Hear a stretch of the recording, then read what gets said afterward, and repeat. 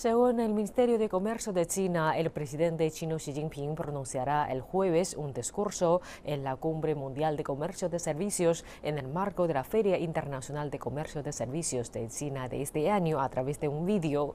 El evento se celebrará del 2 al 7 de septiembre en Beijing, dado que este año muchas compañías compiten para desarrollar elementos inteligentes y verdes. La neutralidad de carbono se ha convertido en uno de los conceptos de moda.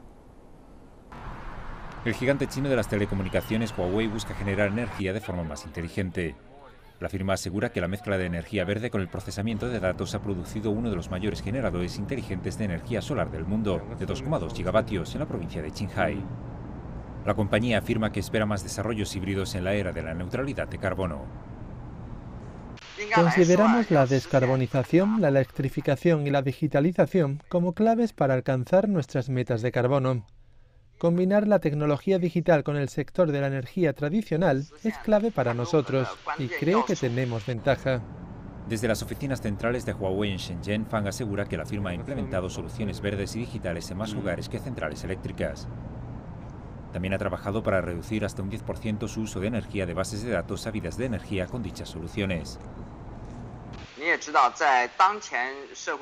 Todas las grandes economías han establecido sus metas de neutralidad de carbono.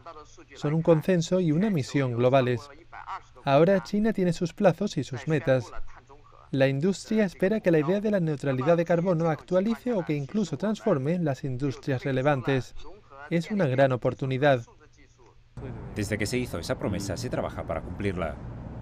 Una tras otra se han establecido plataformas de comercio de carbono y tecnologías verdes como la generación de energía alternativa o la captura de carbono avanzan rápidamente. Antes, la captura o el almacenamiento de carbono solían ser proyectos destinados a probar si la tecnología era viable. Pero ahora, con las metas para 2030 y 2060, los proyectos de captura y almacenamiento de carbono tienen como fin la comercialización y la economía de escala. Por esa razón, el decimocuarto Plan Quinquenal ha urgido a centrarse en proyectos de captura y almacenamiento de carbono. Según cifras de la industria, al término del Plan Quinquenal en 2025, China podría tener el mayor mercado de carbono del mundo, valorado en miles de millones de yuanes. CGTN en español.